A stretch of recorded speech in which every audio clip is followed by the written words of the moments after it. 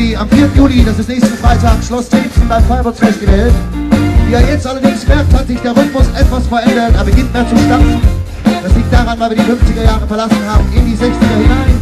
Genau in die Mitte 1965.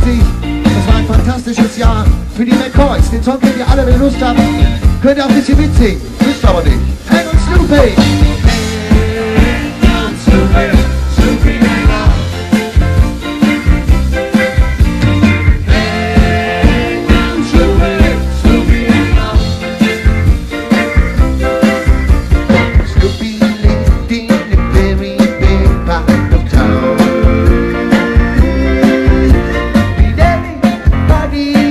back